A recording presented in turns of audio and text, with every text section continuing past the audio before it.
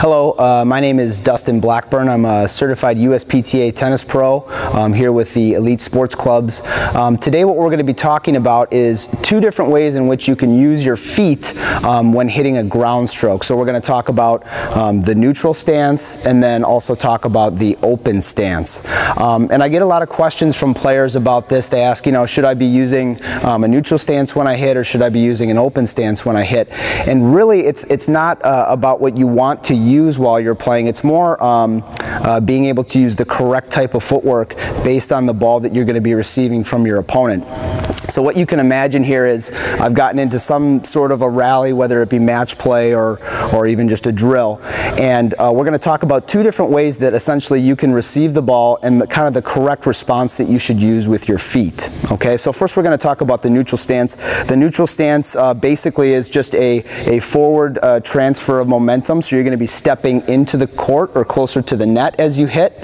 Um, and, and, you're going to want to use this type of footwork in, in a couple different scenarios. But basically, when the ball is in front of you and it's coming a little bit slower. Okay, uh, it makes sense that if the ball were to be in front of you, you need to, you know, move up to get it. And the correct way to do that is to use your feet in kind of this hop stepping fashion as you go up to get the ball. Um, and it's really important to note that with this neutral stance um, that you're using it when you have a lot of time to get set up. Um, you know, this really works based on the fact that, you know, if I'm in my ready position here and the ball is coming to me, I need a lot of time to be able to turn and then get ready to move. Okay, so this, this type of footwork is going to be used again when the ball's in front of you and you have time to, um, you know, kind of get set up to hit. So it's going to look a little something like this. I'm going to self-feed myself here just so that we can, uh, I can kind of show you the process. But again, it looks something like this. So the ball is going to be up. I'm going to hop step into the court and then swing and hit. Okay.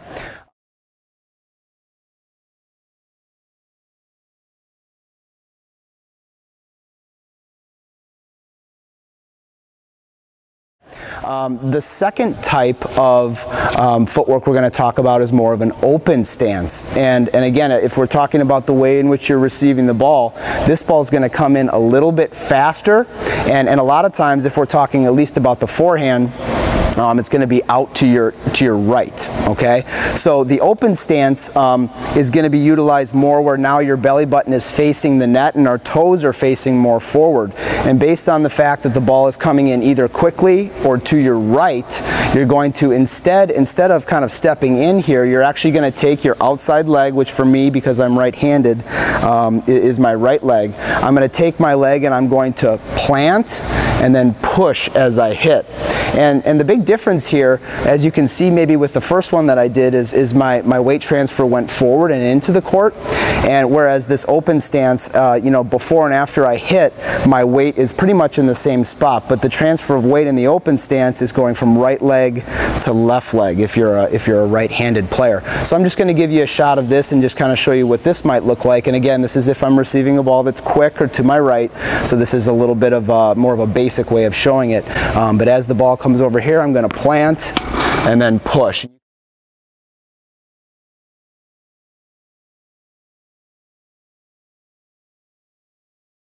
And you can almost see how I, how I pivoted from my right leg to my left. Okay, so just to review, um, you're not going to choose a stance based on what you want to do.